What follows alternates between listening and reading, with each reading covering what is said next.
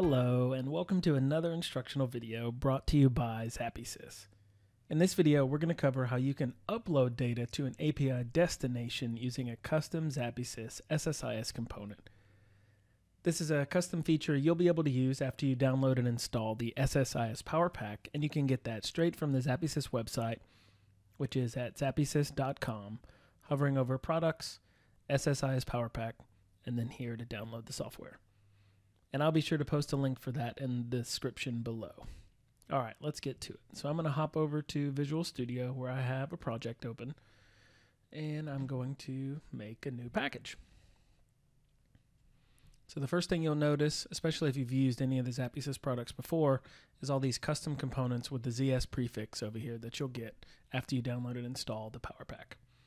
I'm going to drag a new data flow task, and then from within the data flow, the first thing I'm going to do is I'm going to grab one of these custom ZappySys dummy data sources. I like this component because whenever you're doing any type of testing or you just want to get some sample data to try something out, you can use this component. There's a few templates already built in, so for this one I'm going to use the customers. And I'm only going to get 10 rows of data. You can say, hey, do you want to access the data in a sample or random order? These are the columns and the data types you'll get. It's just super handy whenever you don't really care what the data is or you're just using random data. So I'm going to say OK. Then I'm going to grab my API destination component. And I'm going to connect the two. So when I open this component, the first thing we need to do is create a new connection. So there are some predetermined connector types that ZappySys is already familiar with and has done the coding for on the back end to connect to very easily. Uh, some of them are pretty common, OData, Google Sheets, Zendesk. For this demo, I'm going to use Google Sheets. In the future, you'll be able to search online for some additional options. But like I said, I'm going to stick with the basic example for a Google Sheet. And I'm going to say continue. So I'm not going to use, the first thing that you're going to notice is the authentication type and some parameters down here. And I know I jumped straight to this use custom app because I know I'm not using a custom app. So I'm just using a sample Google Sheet I've already made. This is going to be the base URL for Google Sheets whenever you're making an API connector to a Google Sheet. And then I'm going to hop over to a Google Sheet that I've made. And this one, you notice only 10 or so columns. I've already made it to match that customer's dummy data source that I got earlier. And you'll see me copying this sheet ID from my Google Sheet. But notice, super simple. It just has one row of data though. That's kind of important. And I just filled it in with some dummy data. So I'm going to hop back over to my configuration. I'm going to paste in my sheet ID. And now we need to get the tokens for ZappySys to talk to this Google Sheet. So I'm going to hit generate tokens. It's going to try with a little Google Plus browser. I don't really want that. I want my system browser. So it says, hey, that didn't get any tokens. Do you want to use the system browser? Yes.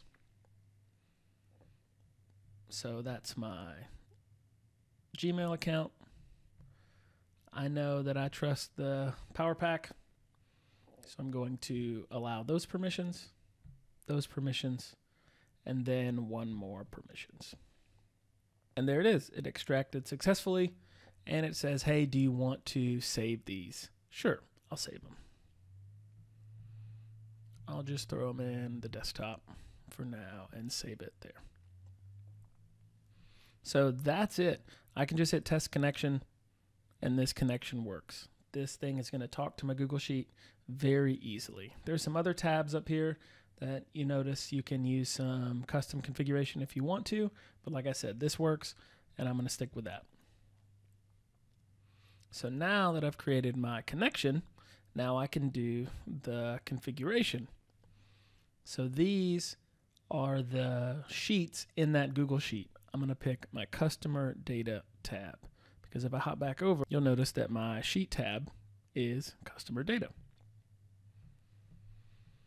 So the first thing to notice from here is the operation.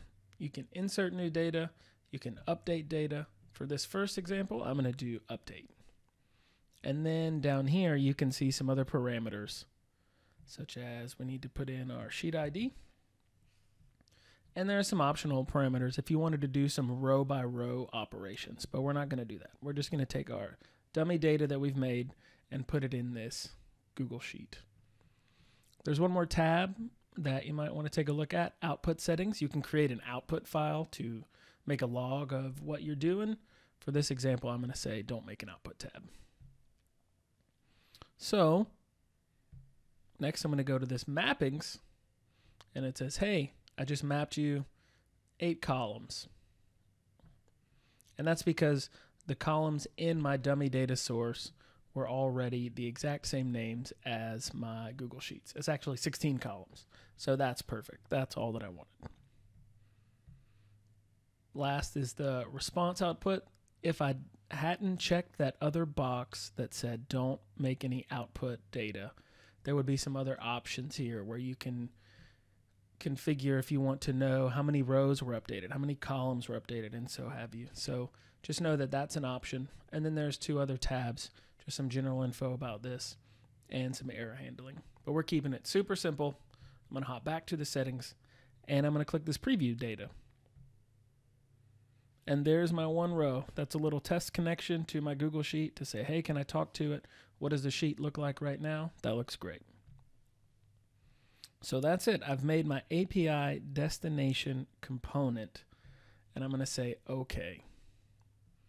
So right now, when I click run, it's going to take this dummy data and put it into this API destination. But remember, I picked this update option. So it literally is going to overwrite the Google Sheet. So that one row is going to disappear, and I'm going to have my new 10 rows of data from this dummy source. Let's try it.